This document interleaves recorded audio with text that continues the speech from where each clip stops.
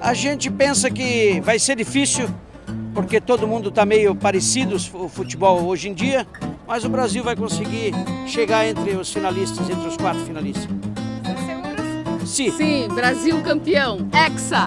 Estamos torcendo muito com o apoio de todo o pessoal da América Central, Panamá, El Salvador, Guatemala. Esse povo sempre gostou do brasileiro e nós também de vocês.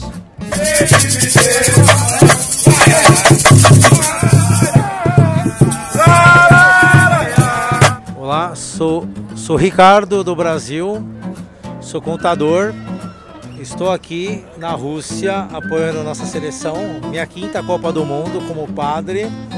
E eu acho que hoje será um gol de Neymar, um gol de Gabriel Jesus e outro gol de Felipe Coutinho, certo? E eu quero que todos latinos torçam para a nossa seleção brasileira porque temos o mesmo sangue, sangue, ok?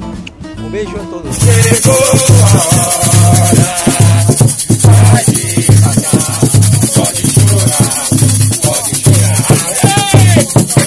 Na minha opinião, os três melhores jogadores de todos os tempos do futebol brasileiro e de todo o mundo foi o Pelé. E do Brasil eu coloco Pelé, Romário e Rivelino. São os três melhores que eu vi jogar. Ronaldo, Ronaldinho e Romário. Três, considero a história, a história do Brasil, acredito que são Pelé, Romário e Ronaldinho. Ronaldinho Fenômeno. São os três melhores jogadores que o Brasil já teve.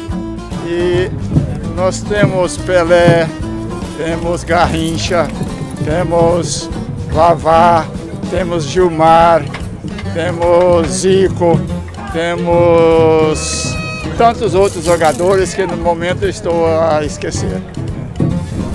É, Pelé, sem dúvida. Pelé, é, Ronaldo e Romário.